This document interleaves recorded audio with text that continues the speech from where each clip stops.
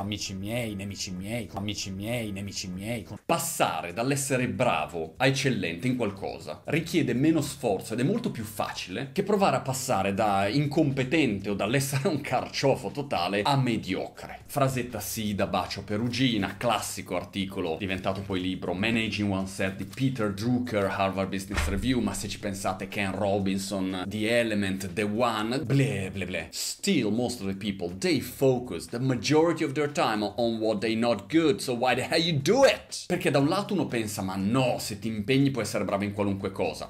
Straordinaria cazzata, perché se prendo Federica Pellegrini, è un fenomeno a nuotare, ma non è che sia un fenomeno anche a fare ginnastica artistica. O poi magari la fede è un fenomeno anche lì. Ci siamo capiti però. Tutti i grandi o le grandi, comunque le vuoi definire, comunque tu definisca successo, sono stati grandi in una cosa sola, principalmente. La loro vocazione, le loro competenze, la loro bravura cultura, la loro mentalità, la loro attitudine, la loro passione, il loro tutto si è concentrato su una attività, ma fatta alla grande. Ognuno di noi ha questa competenza slash vocazione slash talento slash non innato slash 10.000 ore, ma c'è. E allora lo sforzo, se ci pensate, è capire qual è il tuo punto di forza ed è lì che secondo me molte persone si perdono. Un paio di consigli pratici. Il primo consiglio maledetta di quella miseriaccia è osservarsi.